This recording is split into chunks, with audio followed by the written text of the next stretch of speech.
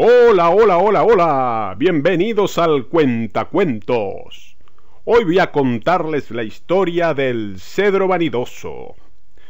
Érase una vez un cedro satisfecho de su hermosura. Plantado en la mitad del jardín, superaba en altura a todos los demás árboles.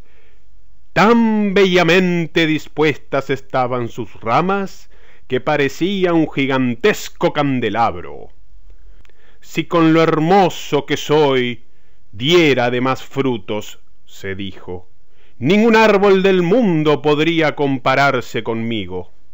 Y decidió observar a los otros árboles y hacer lo mismo con ellos. Por fin, en lo alto de su erguida copa, apuntó un bellísimo fruto.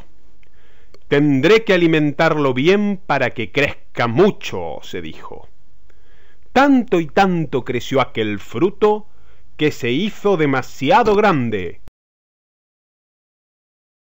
La copa del cedro, no pudiendo sostenerlo, se fue doblando y cuando el fruto maduro, la copa, que era el orgullo y la gloria del árbol, empezó a tambalearse hasta que se quebró pesadamente.